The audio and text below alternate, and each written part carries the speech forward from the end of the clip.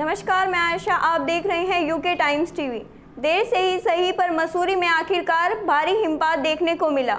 लंबे इंतज़ार के बाद पर्वतों की रानी मसूरी ने आखिरकार बर्फ़ की चादर ओढ़ ही ली। हालाँकि नवंबर, दिसंबर में मसूरी में हिमपात हो जाया करता था, किंतु इस बार फरवरी में हिमपात हुआ है। मौसम विभाग की भविष्यवाणी फिर से सटीक साबित हुई है। देर रात हुए हिमपात से मसूरी की आभा ही अलग दिखाई दे रही है। बर्फ़ पर पड़ती सूरज की सुनहरी किरणें स्वर्ग सा एहसास करा रही है। हिमपात के होने से जहाँ एक और स्थानीय व्यापारियों के चेहरे खिल गए हैं, वहीं आए हुए सैलानी भी बर्फबारी होने से खुश हैं।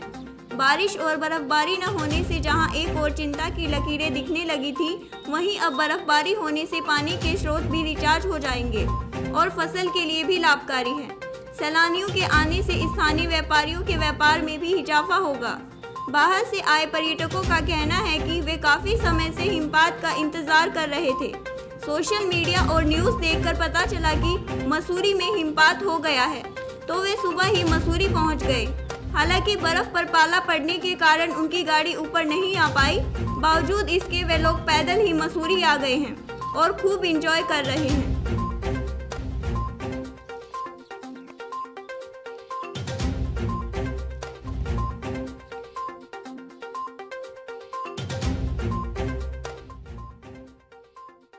I am Swati Gaur I am Garima Gaur कहाँ से हैं आप लोग? हम देहरादून से आए हैं।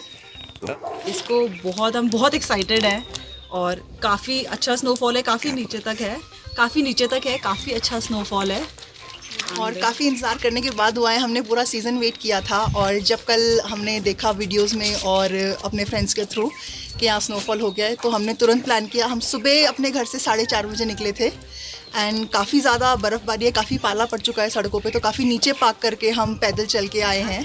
हम साढ़े पाँच पौने छः बजे से हमने वॉक करना शुरू किया था। मसूरी में अच्छे से घूमते हुए अब हम चार दुकान की तरफ़ जा रहे हैं वॉक करते हुए।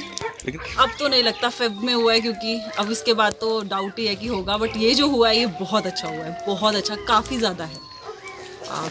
It's a must visit place बहुत खूबसूरत है और सबसे इजी बात यह है कि कन्वीनियंस बहुत अच्छा है। अगर आप बाहर से भी ट्रैवल करके आएँगे आप देहरादून में डायरेक्टली लैंड कर सकते हैं। वहाँ से क्विक ड्राइव है one hour one and half hours की एंड उसके बाद आप इंजॉय कर सकते हैं व्यू काफ़ी ज़्यादा स्टे की ऑप्शन हैं यहाँ पर काफ़ी हेल्पफुल लोग हैं यहाँ पे। So any problem regarding any direction ऐसा कुछ भी आप फेस नहीं करेंगे। एंड काफ़ी एजुकेटेड लोग हैं। इनफैक्ट फॉरनर्स तो आप यहाँ बहुत देख सकते हैं।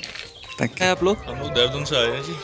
आज जी बड़े टाइम के बाद स्नोफॉल देख रहे हैं और इस बार उम्मीद नहीं थी कि स्नोफॉल होगी क्योंकि काफ़ी लेट हो गया था। लेकिन फिर भी मौसम ख़राब हुआ और अचानक स्नोफॉल हुई तो अच्छा लगा देख के। तो फटाफट हम लोग ने गाड़ी उठाई देहरादून से और पार्क करी है किंगरेट में।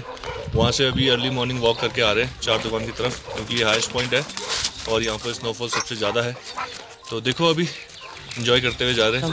देखो जी अभी वेदर रिपोर्ट में तो दिखा रखा है कि दो तीन दिन लगातार बारिश है तो लेट्स होप कि और बर्फ़ पड़े तो और मज़ा आए। टूरिस्ट के लिए। के लिए यही मैसेज है कि अब स्नोफॉल हो गई है फाइनली मसूरी में जो लोग बोल रहे थे कि नहीं हो रहा है तो जब हो गया तो आइए इन्जॉय कीजिए स्नोफॉल मज़े लीजिए इसके।